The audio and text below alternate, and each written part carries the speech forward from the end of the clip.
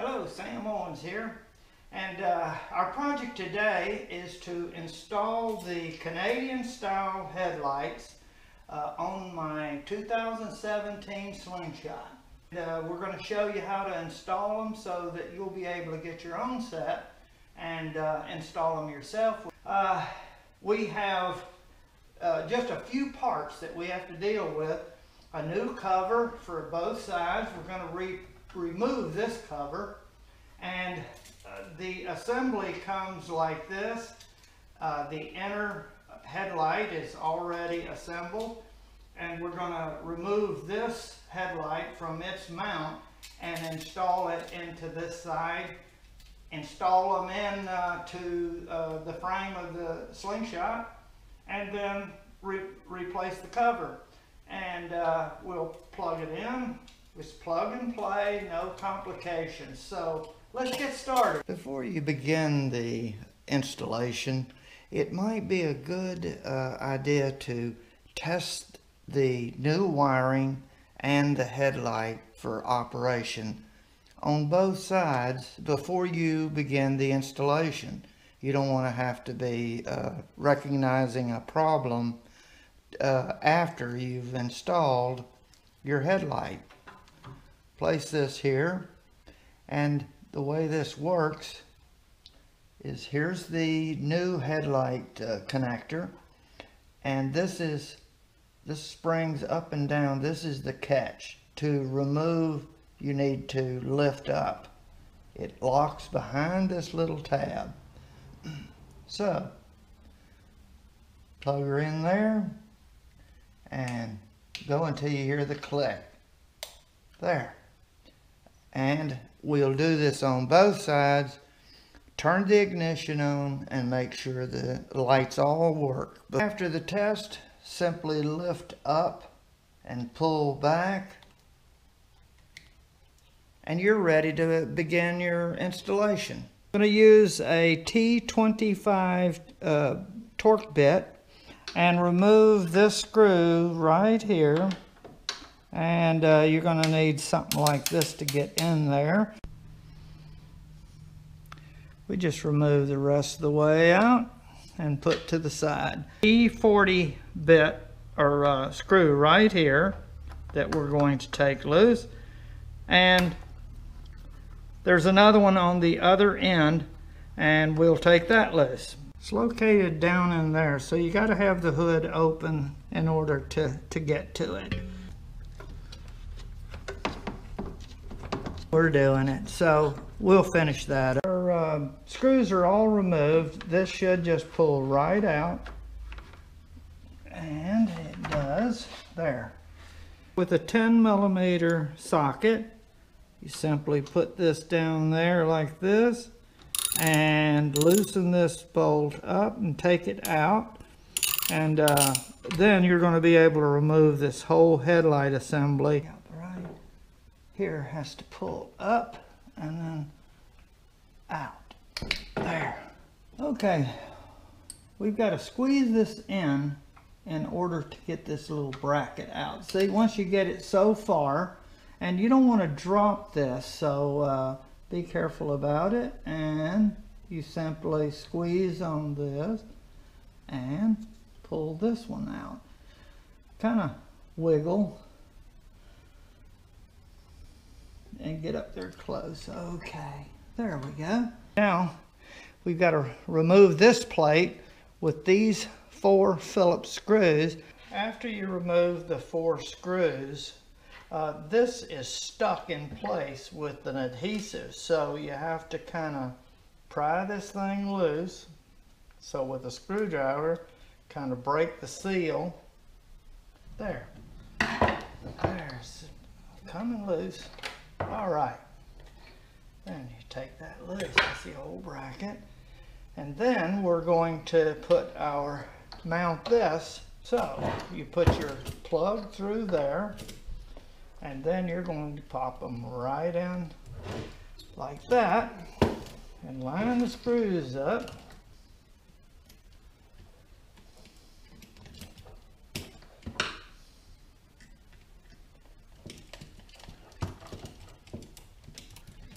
Okay.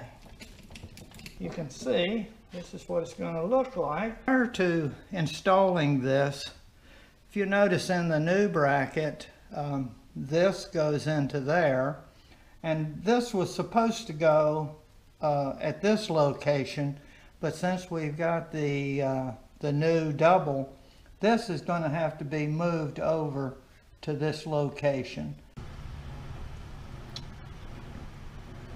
Now we need to remove this headlight adjuster from this location over to this location. Now we, uh, we need to get the screw out and it's very easy to do. Spray a little lube on here, WD-40 or something or other will make this very easy.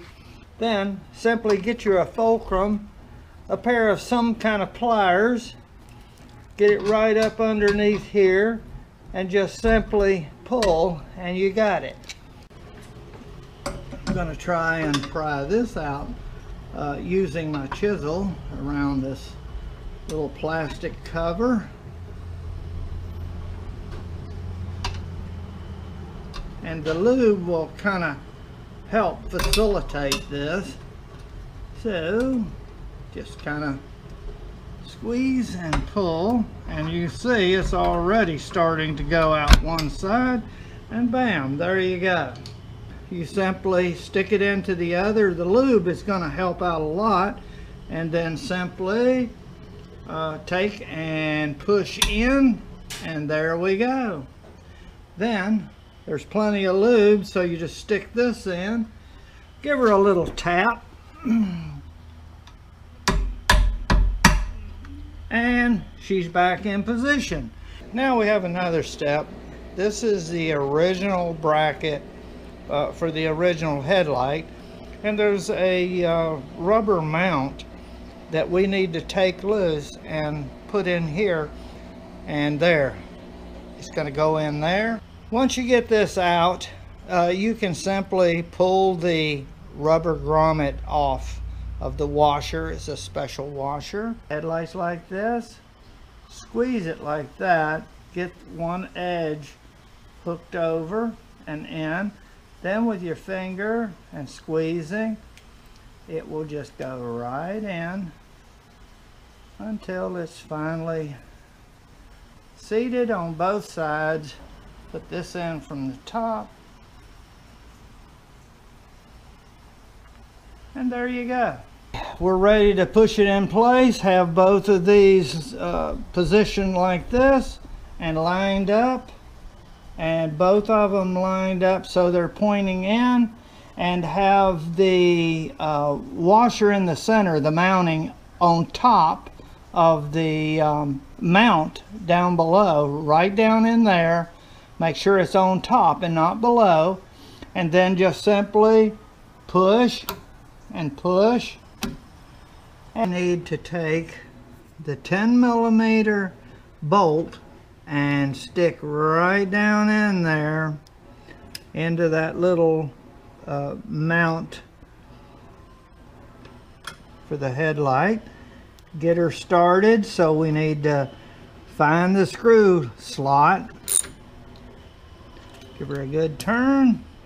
And now we're set it's best to plug this in first. Come up underneath here and line up and connect these together carefully and making sure you got them lined and then push until it snaps. Then you take the original and plug it in. Both are lined up, connected. This is one other issue that uh, you're going to need to deal with uh, in that the kit does not come with a, uh, a new reflector and it's required by the DOT and this is a nice looking reflector and you can uh, detach it from here and move it to there uh, with the, the aid of a hair dryer as you're heating up the back of this and it's getting hot, go around, you'll find some edge that you can get this behind the adhesive and the uh, cover mount. That's the way you want to get it. Like right in here. See? And it's a slow process. You don't rush it too hard. Once off, you're going to want to heat this up good. And then we're going to stick it back on there, making sure you got the right edges and all that uh, set up. So, and uh, it's going to work. All right, here we go.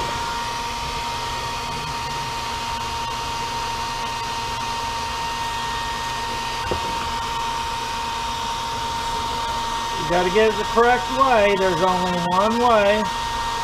And there it is.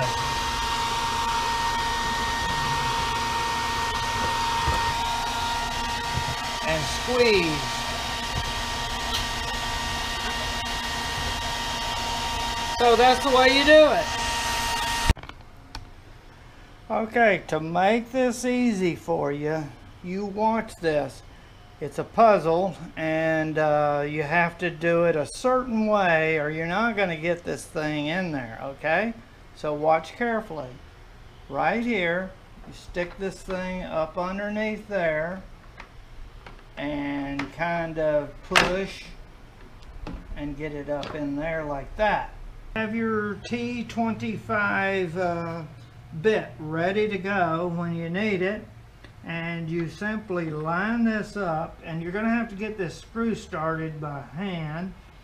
Find the hold and simply turn it by hand a couple of times.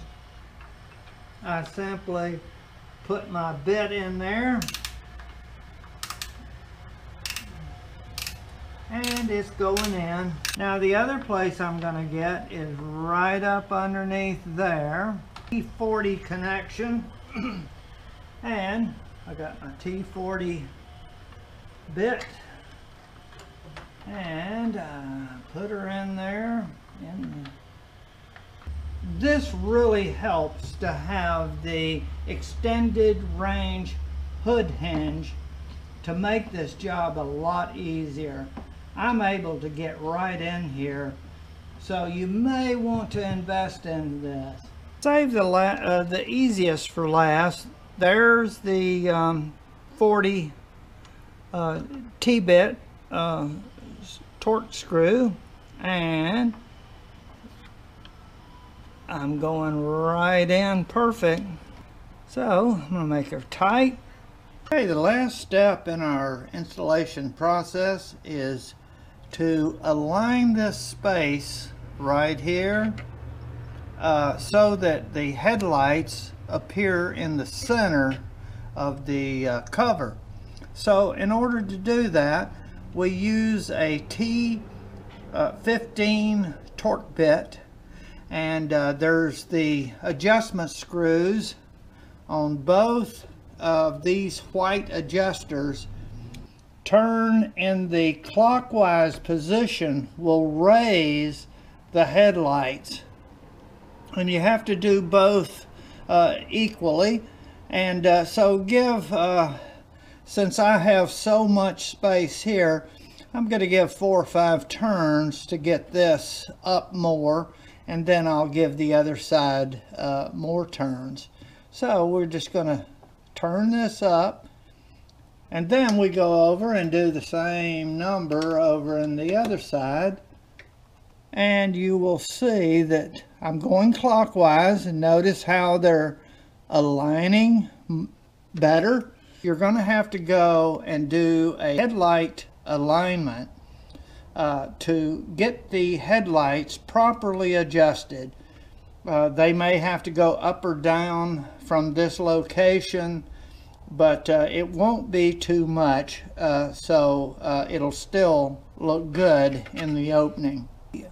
The adjustment procedure is found in the user manual. Now we're showing the driver's side this same adjustments and installation procedure will be needed uh, on the passenger side.